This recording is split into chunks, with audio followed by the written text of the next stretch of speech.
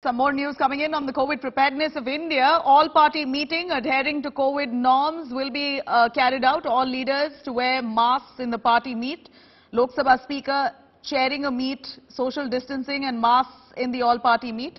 As we see here, India showing the way. Our netas at this point in an all-party meet have all been asked to mask up and here you have it. Uh, starting today, it appears that everyone's being cautious on the COVID surge globally. Of course, India not taking this lying down. You have Prime Minister Modi too, very visible, wearing a mask in this all-party meeting. All the other netas too seated there, maintaining social distancing as the Lok Sabha Speaker chairs this meet.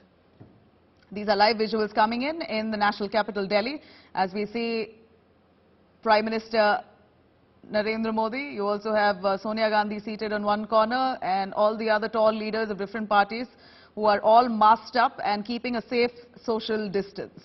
This is an all-party meeting that's currently being chaired by the Lok Sabha Speaker.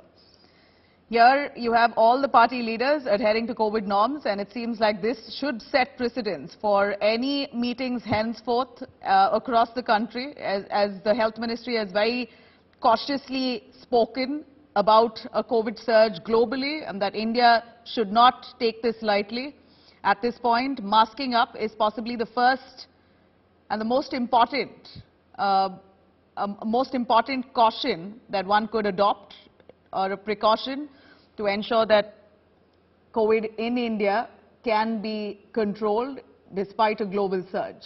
You start with masking up and social distancing. Here are the netas setting an example.